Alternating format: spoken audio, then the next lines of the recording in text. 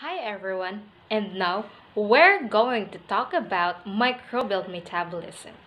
Microbial metabolism is the means by which a microbe obtains the energy and nutrients it needs to live and reproduce.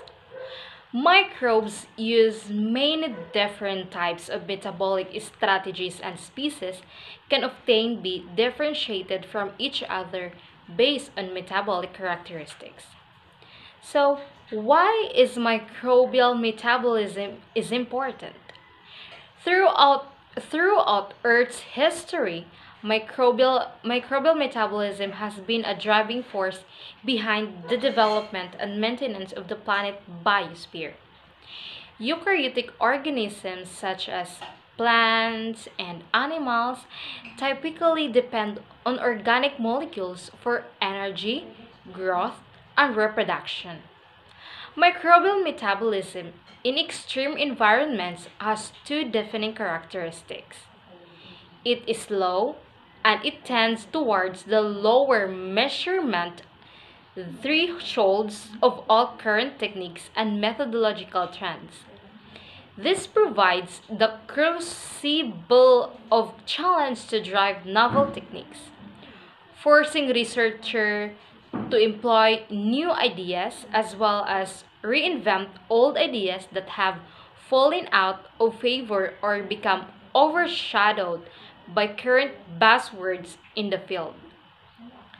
Some of the techniques that have been creative, creatively harnessed to successfully shed light on the impact of microbi microbial metabolism in atypical environments include microscopy at surface air interfaces, mass balance, radio-labeled fatty acid synthesis, and stereoisomeric ratios.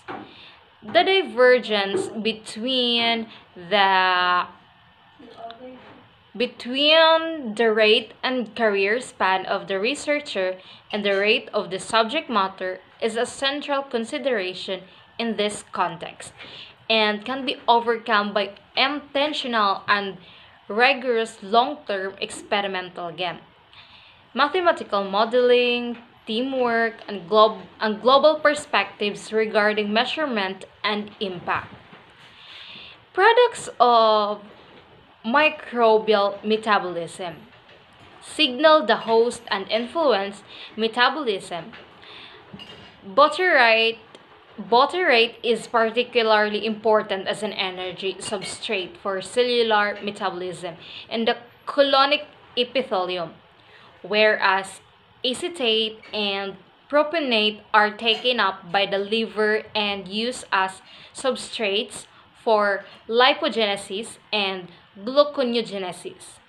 Short-chain fatty acids or SCFAs also affect proliferation, differentiation, and modulation of gene expression in mammalian colonic epithelial, epithelial cells. Acting as a potent histone, deacetylase inhibitor butyrate may regulate the mammal, mammalian transcriptome.